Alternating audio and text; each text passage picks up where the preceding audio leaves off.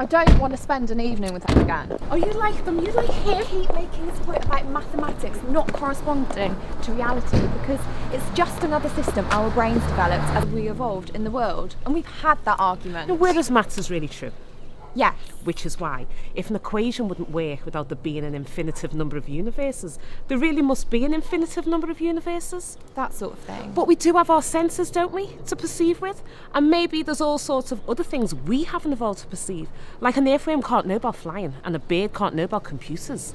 Don't let's have this conversation. Oh, why not go and see them and keep off the topic? We can argue about politics. Because he won't keep off the topic. He likes trying to make me angry because he fancies you, and nobody understands what we're talking about, and the whole evening's ruined, and I feel like shit in the morning and can't work. Are you saying you never want to see them again? he says maths is consistent with itself. He keeps saying it doesn't mean anything. Well, what does it mean then? All right, we'll go and see them. He fancies you.